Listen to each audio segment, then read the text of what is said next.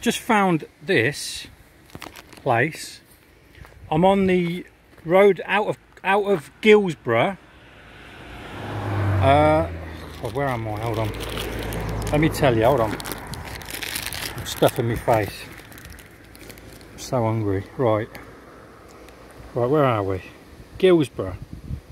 I'm on the road out of Guilsborough that goes north of Hollowell Reservoir and leads up to the Welford Road.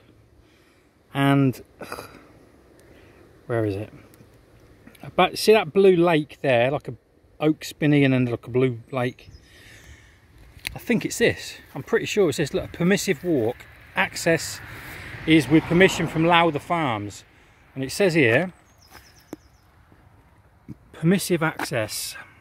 These two areas of open access of open access have been provided for the public's enjoyment by a local landowner in conjunction with Natural England. The first area affords picturesque views across the local countryside towards Hollowell Reservoir. The second site is set within a designated parkland setting and includes a large lake where children can feed the ducks. Both sites are ideal for picnics and recre recreational activities. Didn't even know it was here. Awesome. You don't find things unless you come out and explore. Oh, I shall be coming back here at some point. Not now, because I'm on a route, but I like the sound of the picnics and the views towards Hollowell Reservoir. Awesome.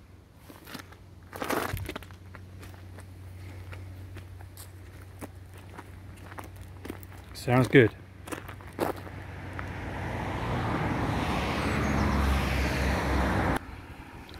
Anyway, like I said, Guilsborough's that way.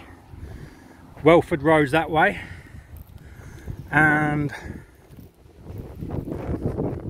Hollowell Reservoir should be somewhere over there.